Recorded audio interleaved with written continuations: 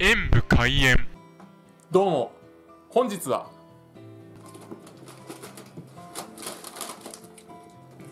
ちら。冷凍ジャワカレースパイス香るキーマカレーを食べたいと思います。焙煎を忘れていました。レトルトカレーはよく見ますが冷凍のカレーなんてあるんですね。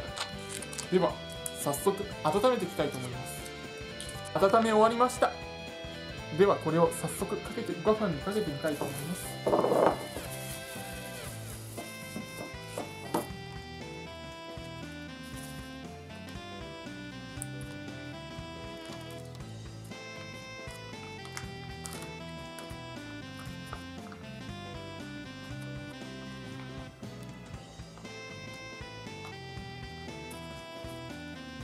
こんな風になっています。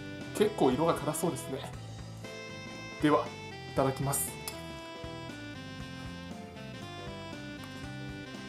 中辛ならこのうわ